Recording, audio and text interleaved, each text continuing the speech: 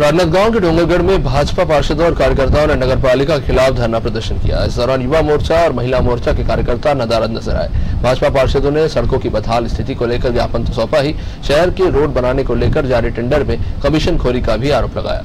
वही नगर अध्यक्ष सुदेश मेश्राम ने कहा कि पंद्रह साल के भाजपा के कार्यकाल में सड़कों की क्या स्थिति रही है, ये किसी से भी छिपी नहीं है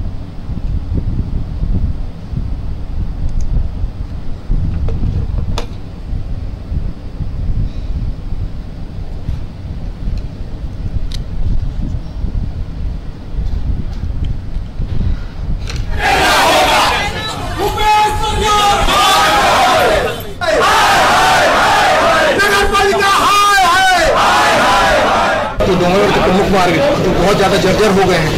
जिसके लिए लगभग एक वर्ष पूर्व विभागीय मंत्री जब डोंगरगढ़ नगर पालिका कार्यालय के उद्घाटन में आए थे, उन्होंने इस रोड के लिए घोषणा की थी।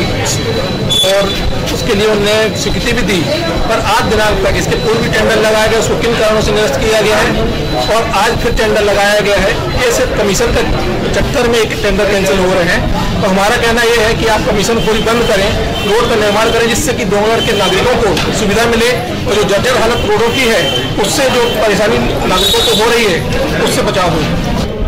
मैं सबसे पहले ये बोलना चाहूँगा कि विगत पंद्रह वर्षों की हालत आप जानते हैं।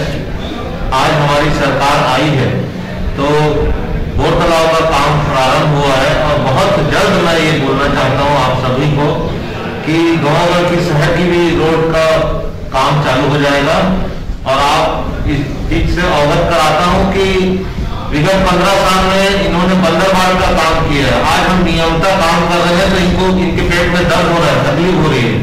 अगर कानून थोड़ा सा सख्त होगा तो सबको तकलीफ़ होती है